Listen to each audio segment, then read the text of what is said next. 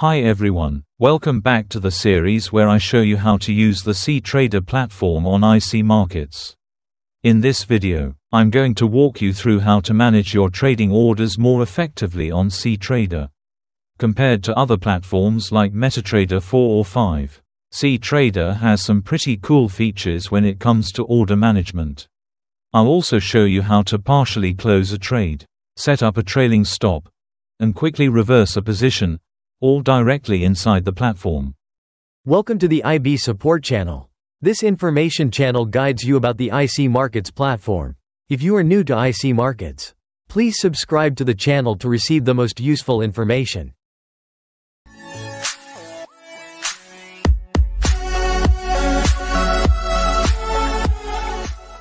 Let's start with the basics setting a stop loss and take profit. When you place a trade on cTrader, you can open it quickly just by hitting the buy or sell button. Once your trade is open, setting a stop loss or take profit is simple. Just drag the order line to where you want it. For example, if you're in a sell position, dragging the line downward sets your take profit.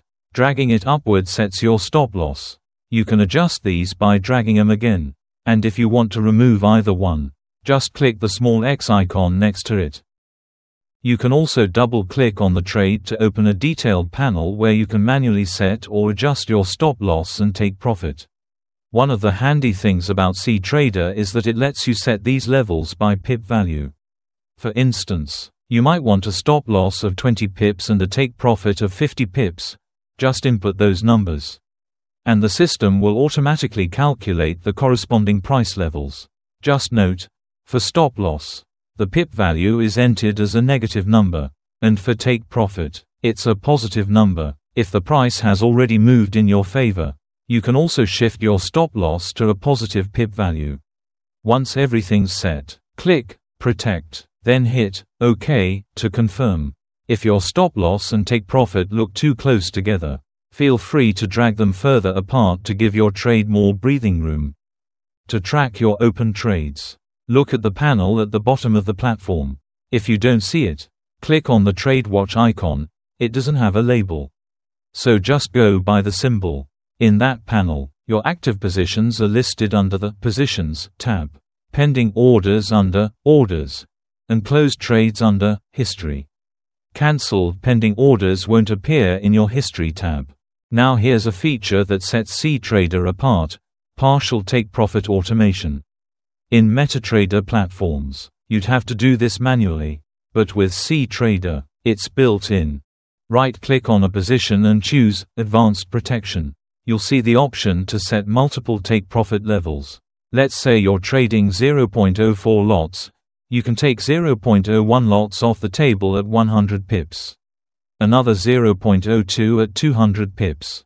And the final 0.01 at 300 pips. Once you click Apply, those levels will be locked in and automatically executed as price reaches them. It's a really useful tool if you want to scale out of a trade without micromanaging it.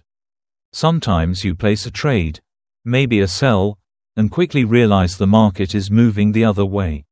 No problem. With cTrader, you can hit the reverse position button to instantly close your current trade and open a new one in the opposite direction using the same volume. So if your original position was 0.04 lots, your reversed position will also be 0.04 lots, just flipped. You can also double your position size in one click by hitting the Double Position button, the one with two arrows. So if you're holding 0.02 lots, clicking this will make it 0.04. Just keep in mind, your account needs enough margin to support the larger size. If you don't have enough funds, you'll get an error message. In that case, you can manually reduce your position by partially closing it. Just enter the volume you want to close, say 0.02, and click Close. Once your position is smaller and you've freed up margin, you can go ahead and double the position. For example, if you reduce your order to 0.02 lots, clicking Double will bring it back up to 0.04. If you've got multiple trades open and they've reached your profit target, let's say $10 total, you can close them all in one click using the Close All button. or use the drop-down arrow next to it to close just buy or just sell positions. Once closed, your trades are moved to the History tab. Now let's talk about trailing stop, a feature that helps you lock in profits as price moves in your favor. Say you're in a sell trade and the market starts dropping. To protect those gains without constantly watching the screen, right-click the trade and choose Modify Position. Make sure stop loss is checked. Then enter a pip value, for example, minus 200 pips. Then click Trailing Stop. Hit Protect and confirm with OK. As the price continues to move in your favor, the stop loss will follow it, keeping the same distance. On cTrader, pip values are displayed in points, so 200 pips actually shows up as 2000 points. That means 200 points equals 20 standard pips. If price drops to, say, 1913, your stop loss will automatically adjust upward, staying 200 pips behind. If the price reverses and hits the trailing SL, your trade closes, locking in profit. Trailing stops work best when the market's trending strongly. But if the market only moves a bit and pulls back, your trade might close too early.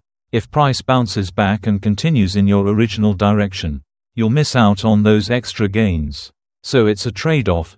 Trailing stops protect profit, but sometimes cut trades short.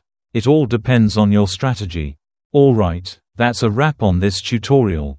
Hopefully, you now have a better idea of how to manage trades on cTrader, from setting stop loss and take profit, to automating partial closes, reversing positions, and using trailing stops. If you found this video helpful, give it a thumbs up, subscribe to the channel, and hit the bell icon so you don't miss the next one.